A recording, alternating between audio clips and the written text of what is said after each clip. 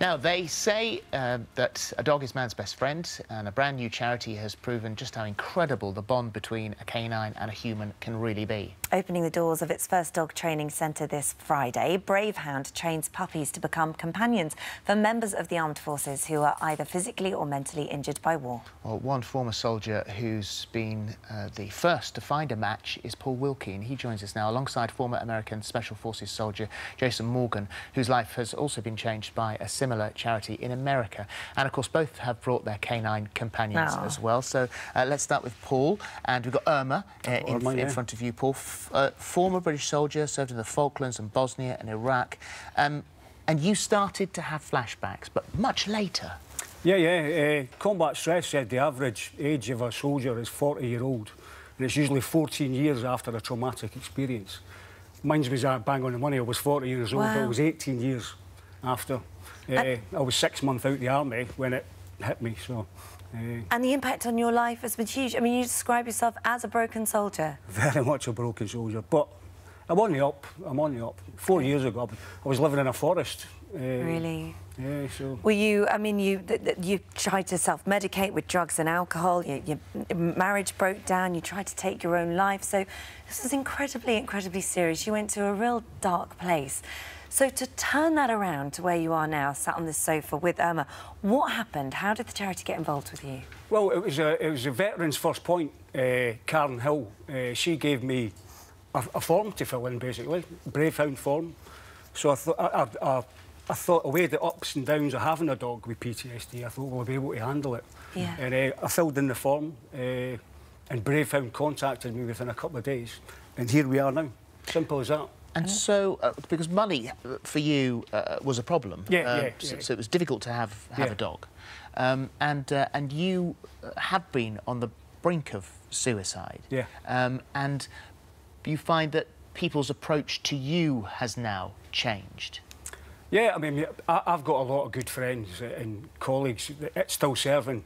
Yeah. Uh, 3 Engineer Regiment, all my amphibious engineer mates, all my friends in Perth, they all rally around me.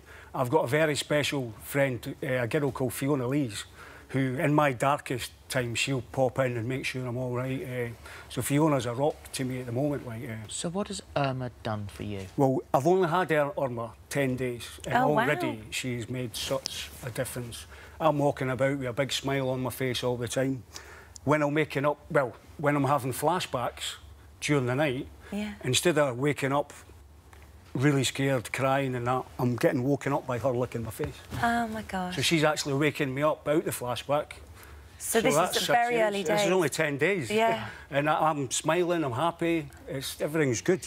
Well, Jason uh, here as well was in Ecuador in 1999 on a counter-narcotics mission fighting a drug terrorist group, ambushed in the armoured vehicle, went over a cliff and you, you were flipped over out the vehicle, rolled on and crushed your crushed your back. Right. Uh, and so uh, for you, um, your, your first dog was Nepal.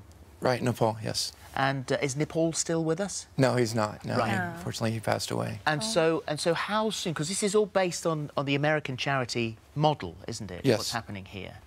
So, what, what, what? How does it work? How did it work over there for you? Well, um, you know, the same thing. And, and Paul, you know, it's tragic it might be. It's not an uncommon story, you know, with our soldiers and the things that we have to go through. And so, you know, I was injured back in 1999, and and um, within a year, I spent like three and a half years in the hospital, my first seven years, and really just trying to survive. I became a single dad, so I had to take care of three very young boys. So I, I basically just kept going just for my kids' sake, and but it was a struggle every day.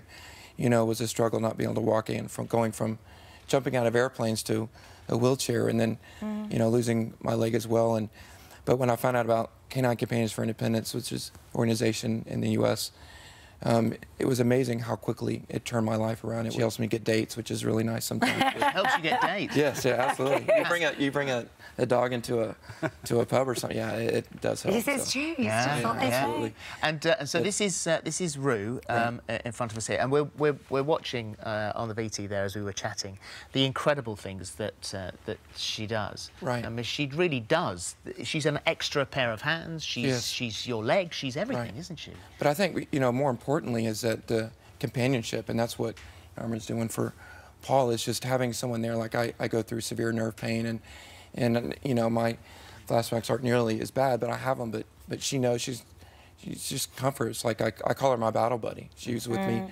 all the time, and the comfort and support that she gives me is just absolutely amazing. And we're just I noticed that the first day I had her, so I you know I trained for two weeks to learn all the commands and everything, and so being in a wheelchair.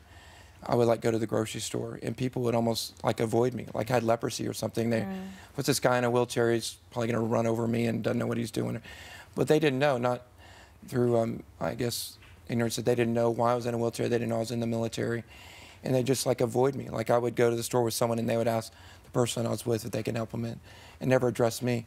The first time I brought my dog into the store in Nepal, it was a whole nother life. I mean, they 180 degree turn. Like people came up to me, they wanted to to see my dog and meet my dog, and in return they found out about me and met me, and so it really brought me back into society again because it's frustrating feeling like I almost gave my life to for the freedoms of my country, and then they almost like abandoned me, left me Yeah, to the side. yeah, so yeah, no, it was huge. terrible. So this is now rolling out uh, here in the UK. How and, brilliant. Uh, it's Project Bravehound, as we said, launched uh, on Friday uh, at a dog training centre in Glasgow. And can servicemen and women up and down the country a- a- apply? How, if someone watched this and thought, oh my God, this could transform my life, what do they do? Well, I say Bravehound's just started out. It's brand new. You, uh, I've got their very first pup. It's, mo it's more like funding that we need at the moment. Yep. It's the funding we Because you're going to need a lot of dogs. A lot of dogs, a lot of funding. Yeah, I mean, uh, and Irma was donated uh, by by a, a, a girl to uh, Bravehound, and I, I've, I've had their very first dog. So they've not got any dogs at the minute. Yeah. So we don't want thousands of ex-soldiers inundating Bravehound because Yeah. we've not got the. So first of all, you want the money. We need then the you money. need the dogs. And then you need can to roll, roll it out. Yeah. Um, Thank you, guys. Thank you, Thank you and so thank much. you for bringing your dogs. They are absolutely gorgeous. Thank you so much. you.